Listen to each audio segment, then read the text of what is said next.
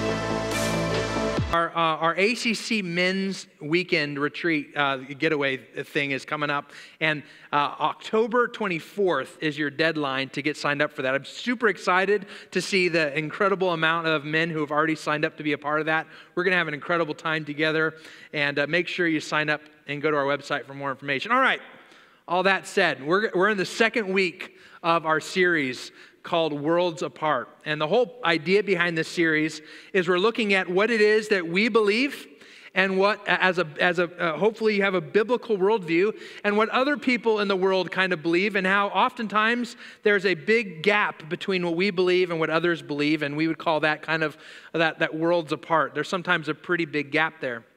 And the other part that's really important to understand in this series is that truth matters. Can we all agree on that? There is an absolute truth. If I have an apple, I can tell you that it's a banana, but it doesn't change it into a banana. An apple is an apple. In fact, truth matters also from a, perspective of Scripture, shows us how important truth is. In John 8, right, it says, And you will know the truth, and the truth will set you free, right? So there's an important uh, understanding that truth is like this, this key that unlocks freedom in our lives. So, when we know what it is that we believe to be true and we know what other people believe to be true, what it does is it gives us an opportunity to explore with our thinking minds and our hearts and our souls what is actually true, because that's the foundation we need to build our life on. And I would argue that through, through this series, you're going to hear a theme that the only worldview worth building your life on is what we call a biblical worldview, that this book is true and it's worth building your house on. But today, in order to help us understand that more, uh, we're going to look at essentially a, a worldview called naturalism. Uh, it goes by a lot of other names. You might know uh, nihilism or atheism or scientific materialism or secular humanism. There's all sorts of words for it, but ultimately, what we're going to look at is this concept of a naturalistic worldview. And when you look at the entirety of the world, when you take everyone in the world and you ask them, what is your religious belief system? What worldview do you hold to? Uh, 16% of the world will check a box called none, no religious affiliation. And most of the time, the people that are in this, that check this box that say they have no religious affiliation, 16% of the world, what they're really saying is that they have some sort of a naturalistic, nihilistic, uh, scientific, humanistic worldview, okay? And so we're going to explore what those people believe. Now, it's 16%, but I would argue that that number is actually much higher. There are a lot of people that will check a box. You know, they'll say, Oh, I'm Jewish, I'm Catholic, I'm Christian, I'm whatever. But what they're really telling you is, I grew up in a family that, that uses this word, but I don't technically hold to any of those beliefs. So the people that just checked that box, 16%, probably higher, today we're going to explore what they believe to be true someone who holds a naturalistic or atheistic worldview. Now, one thing you're going to notice is that people who hold this naturalistic worldview will claim, okay, they'll make the claim that they have the upper hand when it comes to science and rational thought and logic when it comes to understanding how the world is viewed. They will also claim that faith has no part of their worldview system. Now, we're going to see today is that both of those things are false, that both of those things aren't quite true. They're not always untrue, but they're, they're not true. We're going to see that today. And I want to encourage you in this room to not be afraid to think through these things. I don't want anyone in this room to think that just because the pastor says something, or because the Bible says something, or because your parents have said something, that you're just supposed to check your brain at the door. And you're just supposed to accept all the things that maybe are said on this stage. That's not how God calls us to go through life. In fact, in Matthew 22, it says, You must love the Lord your God with all your heart, all your soul, and all of your mind. Like we have access to think through these things and to ask hard questions and to really explore why do we believe what we believe why do you believe what you believe? Why do other people believe what they believe? Let's ask these hard questions so that at the end of the day, if, if only one of them is true, I don't know about you, but I want to build my world, I want to build my house on top of a view of the world that is true. I want to build it on something sturdy. And that's why we're going through this. And I, I would argue, and you're going to see this today, that a biblical worldview is unique and that our worldview is based on science and reason and faith. There's this incredible balance of all three of these things that come together. And when you're trying to understand the world in which you live, science, reason, and faith are all going to be necessary. And we're going to explore that today. But first, let's, uh, let's go to God and ask Him to be part of this time of learning in a word of prayer. Father, I ask that you would speak through me today, that you would allow me to, to communicate clearly what it is that you'd like each of us to hear. I pray that what you share with us today, that it would just whet our appetite, that we would be hungry to learn more, that we would want to spend time in your word and, and talking to you in prayer and, and exploring uh, other views of the world around us by spending time on our own, growing in our faith. So, God, we thank you for this time together. I pray that you would speak through me, allow us to all understand what it is that's being taught, that you would allow us not just to hear it, but to apply it to our lives. We pray this in Jesus' name. Amen. Amen. So I hope you're ready to learn today because I have a, a, a bunch of inf- information based on our limited time. Again, like I was just praying, I'm hoping just to whet your appetite. Our goal at ACC is not to feed you seven days worth of, of spiritual food. Our goal is to whet your appetite and to teach you how to feed yourself so that tomorrow you want to go home and, and spend time in God's Word and spend time talking to Him in prayer, and same thing Tuesday and beyond, okay? So let's uh, first define a few terms. You're all welcome to class today. We're going to define three things before we get into uh, some, some more about what God's word says about all this. But the first words I want to define are the words natural and supernatural. What is the difference between these? When we talk about uh, a naturalistic worldview, you're going to hear these words come up. So the word natural, uh, the natural world is made up of, of three elements time, matter, and space. All right, so everything uh, is kind of follows a certain order right? One o'clock comes before two o'clock. That's, that's the order of time. We understand matter are the things we can see and touch and kind of the, the, that kind of stuff. And, and space, the distance between us, there's an absolute truth that there's a space between us, and that it, all time, matter, and space make up this natural world. They, our natural world can be mostly observed using our five senses. Now, there are parts of our natural world that you might not be able to use your senses to see. There's going to be things that are too small, too big, too invisible, right? Uh, to, you can't see wind, but you can feel it. So there's things that you might not be able to observe fully, but it also can be studied through science right? We, we have these processes by which we want to understand the natural world we live in, and we can repeat things and go through a scientific process and actually figure out patterns that prove to be true over time. A theory turns into a law of science, and, and we can, you know, a lot of math and all that stuff, okay?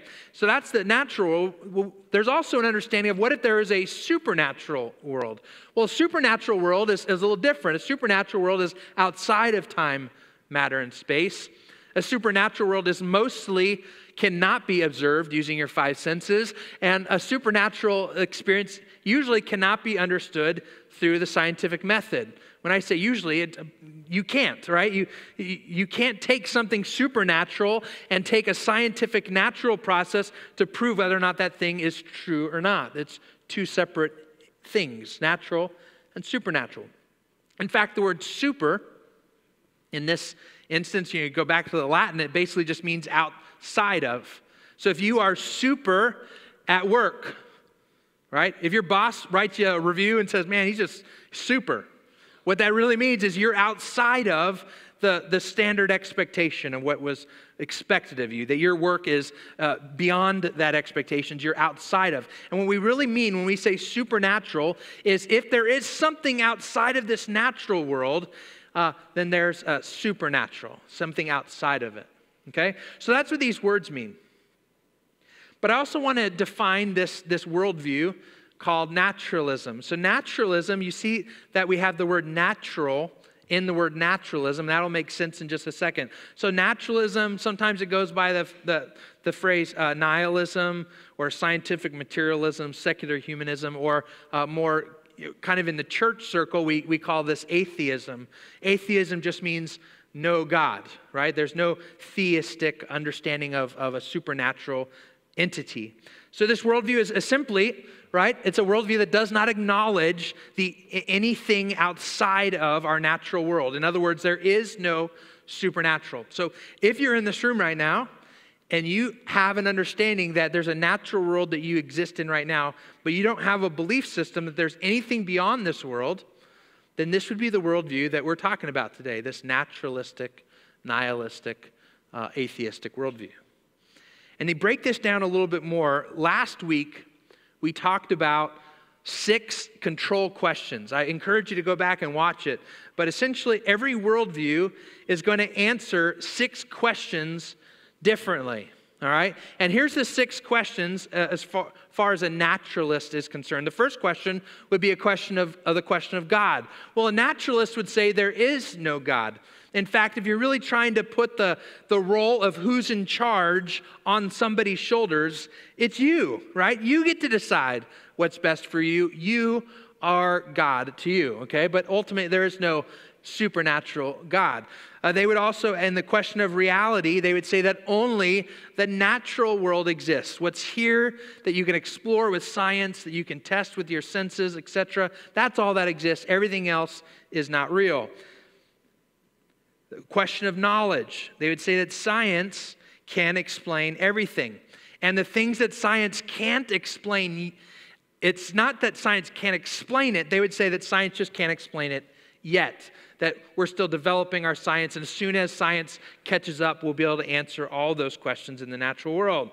All right, and the question of origin, right? They would say that there is this, this big bang. In fact, before even the big bang, right, some primordial soup, and that out of that, that came from maybe some other dimension, um, from, from, I don't know, but at some point there was this big bang, and from that came everything that you and I can now test with our natural okay? So that's kind of the question of, of origin. The question of ethics is the consensus decides on rules to live by. All right, so most people in the naturalistic worldview, how do you know it's right and wrong? Well, we took a vote and we decided you shouldn't steal. Right? Essentially, uh, boil it down, it's just make sure to enjoy life before you die. That's a basic ethic, right? Just try to get the most out of life before you die. And as long as you can get a bunch out of life without taking from someone else, don't, don't ruin someone else's right to enjoy their life, but you do you, let them do them. And that's just kind of a basic ethic of a naturalist, all right? And here's the last question is a question of afterlife. And essentially, an after, a naturalist would say that you're worm food, all right? When you die, the lights go out and they put you in the ground somewhere, burn you up, whatever, and you just become uh, dust at some point. Let me make a, a, an observation here. Now, you might be a naturalist and disagree with me on this. That's all right. Um, I hope that's not the, tr- the truth, but um, it doesn't really matter how you answer these questions. There is an absolute truth to these questions. Now, I believe that my view is in alignment with truth. And I'm sure a naturalist believes that their view is more aligned with truth. And that's why there's a world apart between the way we view the world and what we believe to be true. But it doesn't change what is actually true. The question of afterlife, for example, I believe that there is a real place called heaven and that it's eternal. And I believe that there's a real place called hell and that it is eternal. And it doesn't matter what somebody else believes about heaven or hell, their belief about it doesn't change whether or not it exists or not. Right? There is an absolute truth. So we should be really, really careful about exploring what is true and how we answer these questions. See, I would suggest that there are some serious problems with this list behind me if atheists claim, if naturalists claim to rely on science and reason to get to these conclusions, I would say there's some major problems. I want to explore some of that with you this morning. You see, in order actually to come up with these answers, I would say you actually have to have tremendous faith, which doesn't quite make sense, but I'll explain that as well. So let's take a look. What I'm going to do is I'm going to put some biblical worldview things on the left side of the screen, and I'm going to compare them to a naturalistic worldview on the right side of the screen, and hopefully we'll understand this all a little bit better. But essentially, one thing that you're going to find about a biblical worldview, I think that our, our worldview needs to include both uh, science, reason, and faith to kind of make up the whole picture. But the first one, let's talk about science. All right, a biblical worldview discovers truth about the natural world through science. So let me kind of explode a myth real fast. There's kind of this myth out there, again, that if you follow a biblical worldview, that if you're a Christian, that somehow you are at odds with science, that science is the enemy, and that, again, when you come into the doors, you have to check your brain at the door because there's no science or logical, rational thought allowed here. Well, that's completely s- stupid, okay? I, I want you to understand that in a biblical worldview, we believe that we discover truth about this natural world through science. There's incredible uh, people who hold to a biblical worldview and are scientists at the same time and love to explore the world around us. In fact, it says in Psalm 111, verse 2, it says, Great are the works of the Lord. They are studied by all who delight in them. See, the reason we study science, the reason we study physics, the reason we study astronomy, uh, the reason we study all these things is because there's something incredible about the world that has been created and we want to understand it. And science is a gift from God to us to understand what He wants us to understand. You see, science helps those who hold a biblical worldview understand how things work within the realm of time matter, and space in the natural world. How does all this work? Things that follow natural laws. Now, a naturalistic worldview actually would hold the same thing, right? We say that we discover truth about the natural world through science. Well, a naturalistic worldview also seeks to do the same thing. They also want to understand the natural world through science. So there's not really a uniqueness between us. Now, a naturalistic worldview person, holder, would say that they don't believe that a biblical worldview uses science. But again, uh, I, I, know plenty of incredible scientists. I know we teach science in my home, and I know your kids are learning science. Science is important and valuable. In fact, think about this. You know, when we say that from a naturalistic worldview, there's a belief that everything kind of came into existence out of a, a big bang, right? That, that at some point there was an explosion, the, the, the, the heat just got too hot, and everything just got right, and everything came together, and boom, an explosion came.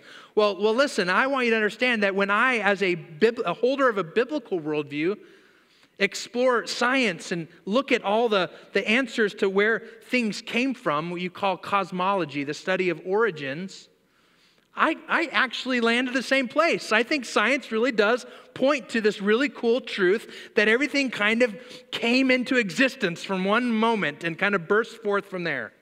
Now, we definitely disagree, a naturalist and I, on who caused that to happen. But we can use science to really understand that at some point, everything, time, matter, and space kind of came into existence somehow. I believe that. I think science points to that. Here's the second thing a biblical worldview, right, recognizes truth about the supernatural world through reason. In other words, what I'm trying to say here is that if you hold to a biblical worldview, when you take logical thought and reasoning and you kind of put it all together, what it's going to point to is the existence of something supernatural.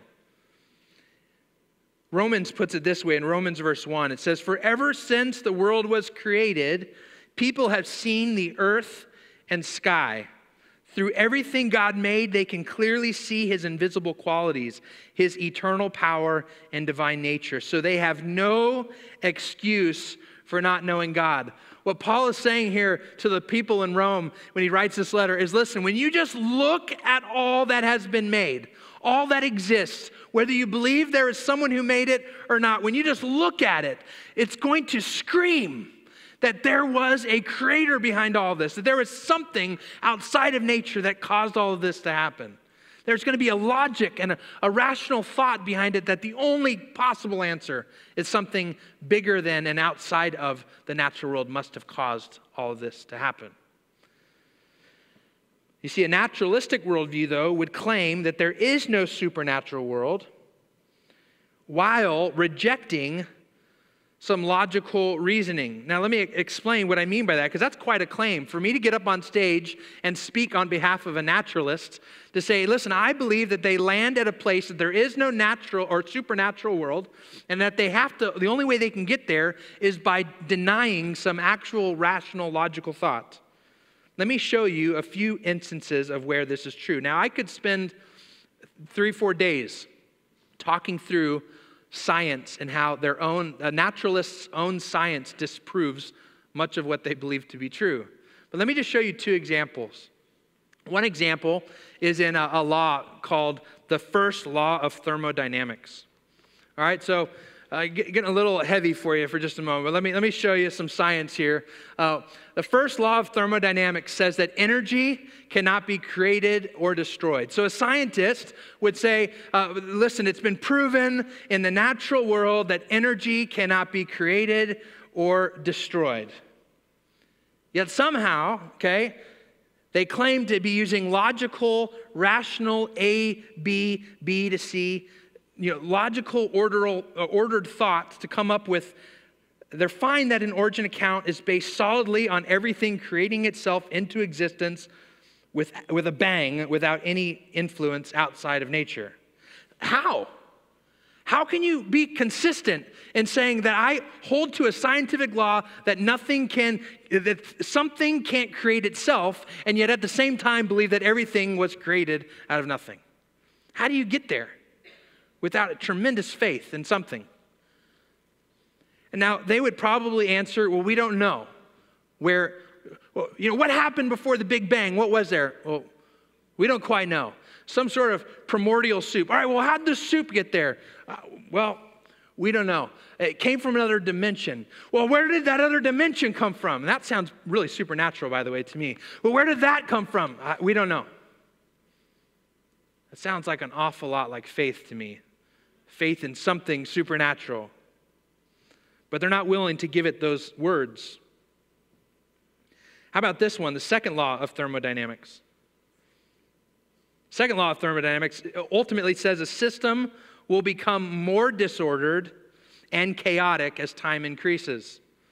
So, again, a naturalist is going to say, I believe in science. Science has proven that a system will always become more disordered and chaotic over time. In other words, left to chance, uh, things will be, get, become more, you know, less, more or less, uh, become more chaotic.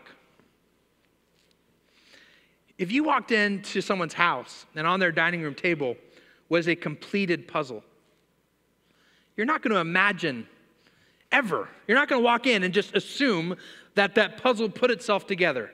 You're definitely not going to assume that someone opened up a box and threw the puzzle up in the air and all the pieces just landed right where they were supposed to and kind of fell into place. You wouldn't assume that because we understand that if you take a completed puzzle and you throw it up in the air, that what you're going to get is pieces all over the place. You're going to get less order, not more order right? We know through logical, rational, reasonable thinking that every book has an author, that every song has a composer, that the house you're going to go home to today has a builder. That, that something that is ordered didn't happen that way on its own because we understand the second law of thermodynamics. If I were to take a can, how many of you love uh, SpaghettiOs? Any SpaghettiOs fans in here? Right. A few. All right, that's fun. Remember the SpaghettiOs that were like A through Z alphabet SpaghettiOs? They weren't just the O's, you got the whole alphabet. Imagine if I took a can of alphabet SpaghettiOs and I opened it up on stage, right? And I just said, hey, watch this. And I threw it up in the air. Like, if, if when I was done, all of those pieces, it just, let's just say a few of them, landed together and made a complete sentence in the English language. Like, we would be like, that, that's impossible. That, that doesn't happen. Uh, some sort of magic trick must have happened because we understand the second law of thermodynamics that things don't become more orderly without some intentionality, things become more chaotic. There's actually, in the naturalistic train of thought, to try to understand how you could get order out of chaos, they have a theorem, and it's actually called the infinite monkey theorem. You can look it up. Here's the infinite monkey theorem that if you take a computer and you put a monkey in front of it and teach that monkey how to go like this on the keys, that given enough time, given enough opportunities and tossing out paper as it comes out wrong, given enough time, eventually you will get the complete works of Shakespeare. That just accidentally, you know, the first time, nope, not the right one. Second time, first letter, yep, that's the first letter. Nope, not the right one. That if you just give it enough tries, eventually the order of all the buttons being pressed, you'll eventually get the complete works of Shakespeare. Man, I do not have enough faith to be an atheist. to me, the only way that you get the complete works of Shakespeare is by having a creator named Shakespeare who was created by an intelligent, loving God to put all that together. The supernatural is the only reasonable solution that makes sense. How do you hold a consistent position that things become more disordered over time, and yet from a random explosion came order, logic, language, DNA. Like, what, how do you get there? Just take one strand of DNA. I'm sorry, I keep giving these illustrations. I just love this, okay? Take one strand of DNA. And in order to just represent the amount of data that's stored in one strand of your DNA, I'd have to take 1,000 of those Bibles that are underneath the chair in front of you, 1,000 of them and put them on stage. And the amount of data that's all the, the letters of the alphabet that make up all those pages, front and back, all the way through a thousand different Bibles, all that information could be stored on one single strand of DNA. In fact, uh, naturalistic and uh, uh, all, all the worldview scientists, okay? You take all the scientists, and one of the things that they can actually agree on is that if you took a teaspoon and filled it with just DNA, the amount of data that could be stored in that teaspoon of DNA is equal to all of the data that has ever existed in this world. Every one and zero on a server somewhere, every book in every library, all the data could all be. And yet, somehow, to try to explain where did you know, the, where did DNA come from? Oh, it must have come from RNA. Okay, where did RNA come from? This incredible language. Well, listen, I don't have enough faith to be an atheist. I'm telling you, I don't have enough faith to be an atheist. There are major, major logical fallacies with this view. In fact, I would say it's not a reasonable position. How about this third thing? A biblical worldview accepts what God chose not to reveal through faith. God has revealed a lot of things to us. He's given us science to explore the natural world. He's given us his revelation called his word to, to, to, see more about the things that he wants us to understand about the supernatural world. But there's going to be some things that, that his revelation and that, that science and that reasonable, logical thought aren't going to be able to answer. And for all those things, we recognize that that's where faith comes in. There's things that God hasn't revealed about who he is, he hasn't told us those things about him yet. And we accept that God chose not to reveal certain things. A naturalistic worldview, though, wrongly claims that faith plays no part in their worldview. That they don't have any part of their worldview that's based on any sort of faith. Yet Hebrews 1:11 says this, faith shows the reality of what we hope for and is the evidence of things we cannot see. In other words, faith is what happens when you have something that you can't quite understand. You don't quite know, uh, can't quite use science to understand it or prove it or whatever. Listen, both worldviews, whether you hold a biblical worldview or a naturalistic worldview, there are tons of both worldviews that can't be solidly answered in a way that everyone is just like, I've got all the answers, I've got it all figured out. Both systems require faith.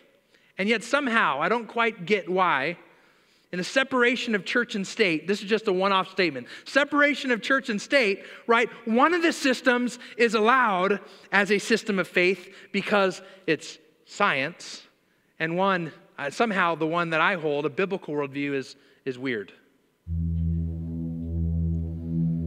I could go off on that for quite a while, but here's Here's what the Bible says is the cause of you and me and the world we live in the question of origin. It says in Colossians 1 that Christ is the visible image of the invisible God, that he existed before anything was created and is supreme over all creation. For through him, God created everything in the heavenly realms and on earth. You see, God created everything in the natural world and everything in the supernatural world. And He made the things we cannot see and the things we can't see, such as thrones, and kingdoms, and rulers and authorities in the unseen world. Everything was created through Him and for Him. He existed before anything else, and He holds it all together. Listen, when, whenever we wrap up a message here, we always ask we, we challenge you to ask yourself this question What now, God? What is it now that we should do with this information as we explore? I want to I want to challenge you to do two things. One, don't be afraid to ask questions and to use the mind that God has given to you. Because I, I believe in all my heart that when you use science and when you use rational thought and thinking and when you use faith and you put those things together, you're going to solidly land on a biblical worldview. We shouldn't be afraid to ask those questions because those questions are going to bring us to a place of a solid biblical worldview. You see, in my brain, this is some math thoughts for a moment. I believe, right, that the first cause of the universe must have been non spatial because it created space. I believe the first cause of the universe must have been immaterial because it created matter. It must have been timeless because it created time. It must have been incredibly wise because it put all three of those things together with such incredible precision that life is even possible. And therefore, I believe in a powerfully supernatural God that created time, matter, and space incredible precision and love for his creation. Now, unbelievers, you may call this thing whatever you want, this thing that must have existed before anything else. God's word has a name for him God, Jehovah, Yahweh, God the Father, God the Son, God the Holy Spirit, existing eternally in three distinct persons, but together as one God who created you and created all things. And His Word explains these things to us. And what it doesn't explain, we're asked to step out in faith and understand that when we use science and reason and faith, that we're going to find ourselves landing solidly on a biblical worldview. The second thing I want to ask you to consider, not only to, to encourage you to think through this, but if you're in this room and you've never made a decision to follow God's word and his way of doing things, which means to, to commit your life to doing things Jesus' way, to submit to the truth of the gospel that God sent his son to this earth to die on the cross in your place, and then by placing your faith in him, a God who is 100% natural and 100% supernatural all at the same time that God was able to take your place and pay for your sin on the cross so that one day you can go from this natural world and live forever with God in a supernatural experience. If you don't believe that today, I want to encourage you. That's the that's the starting point right there. Say, I want to trust in a biblical worldview, and I want to build my life on that. Would you find me after service? Would you come find someone with a lanyard, one of our pastors? It doesn't matter. We would love to talk to you about the next steps to take in your faith. Let's pray together. Father, thank you so much for this book. Thank you for your revelation. Thank you that in it we can see that by using science, by using reason and logical thought, rational thinking and by ultimately seeing that there's elements where you call us to step up into faith, the things that we can't quite see and prove. That when we put all those things together, we can land solidly on a worldview that's based on your, the truth of your word and on who you say you are. God, I pray there wouldn't be a single person in this church that longs to walk out of this place today building their house on any worldview other than the view of the world you've given to us. God, we love you and we pray this in Jesus' name. Amen. Well, we are so thankful for the truth that was shared in this message today. Please know that we, as a church, are praying that what you have learned today, the truths that God has put deep into your heart, will manifest themselves and grow themselves into something amazing. And as always, you can experience that with other believers, other people who are walking this walk of faith at ACC on Sunday mornings at 9 and 11 a.m. Please remember this you belong at ACC.